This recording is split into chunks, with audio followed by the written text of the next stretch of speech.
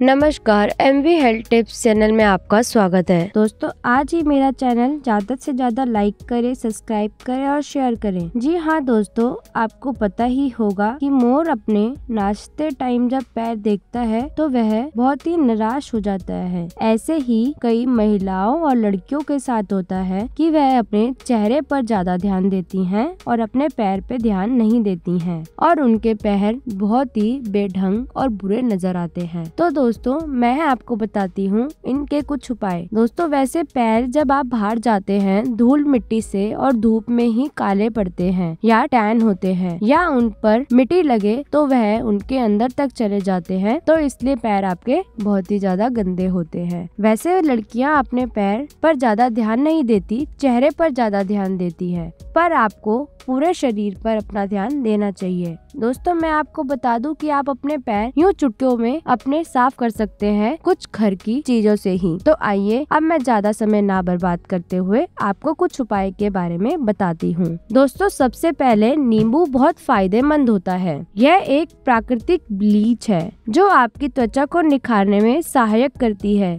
चाहे आपकी बाएँ हो, कंधे हो, चेहरा हो या पैर हो, आप नींबू का रस से मालिश कीजिए और देखिए कि टैनिंग कैसे गायब हो जाती है। सफ़ेद सिरका। यदि आप घर में पेडिक्योर करती हैं तो उसमें कुछ बूंदे सफ़ेद सिरका मिला लीजिए। पेडिक्योर के लिए गर्म पानी में नींबू का रस ग्लिसरीन, नमक व व्हाइट विनेगर मिलाएँ। इससे आपके पैरों का रंग बहुत हल्का पड़ने लगेगा और आपके पैर कोमल भी हो जाएँगे। जी हाँ दोस्तों, अब मैं बात करती हूँ बेसन और हल्दी की। बेसन और हल्दी को मिलाएँ, फिर उसमें दही और कुछ बूंदे नींबू के रस की मिला लीजिए और उसका पेस्ट बना लें। इसे अपने पैरों पर 15 मिनट तक लगाए रखें। हल्का सूखने के बाद उसे गर्म पानी से धो लें। आपको अपने पैरों में बहुत आराम दिखेगा और आपके पैर बहुत ज़्यादा कोमल हो जाएँगे। गरम तेल से मसाज। जब आपके पैर रूखे सूखे, बेजान दिखने लगे